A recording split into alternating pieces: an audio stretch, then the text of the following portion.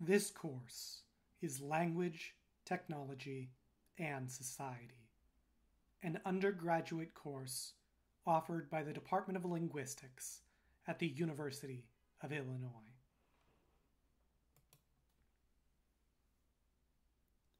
This course deals with the interrelated nature of language, technology, and society.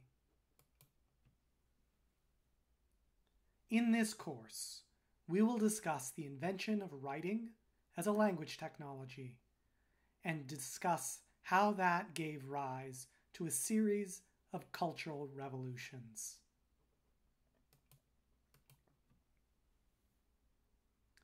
We will tackle the nature of society and what it means to be a social group, a social world.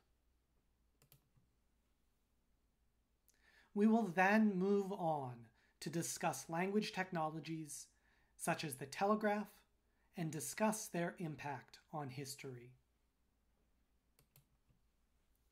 Finally, we will utilize the internet as a means by which we can reevaluate our language and its impact on society on a global scale.